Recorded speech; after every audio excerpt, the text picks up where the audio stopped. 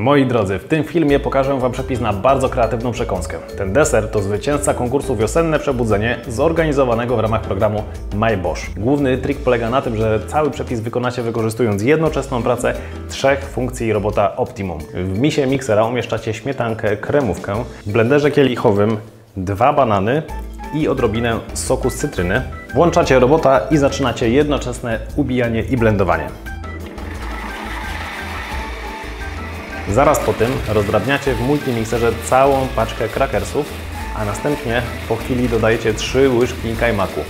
Do śmietany dodajecie jeszcze pod koniec dwie płaskie łyżki cukru pudru, banany zamienione w aksamitny mus, krakersy w bardzo smakowitą masę, a śmietana idealnie ubita.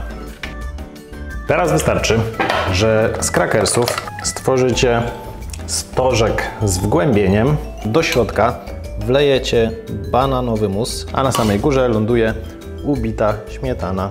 Jeszcze tylko szczypta kakao i możemy zabierać się za próbowanie tego pysznego, słodkiego wulkanu.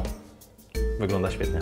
Pamiętajcie o tym, że dokładny przepis znajdziecie jak zwykle w opisie pod filmem, a także, że na stronach Akademii Smaku czeka na Was mnóstwo pomysłów i przepisów na takie kreatywne przekąski.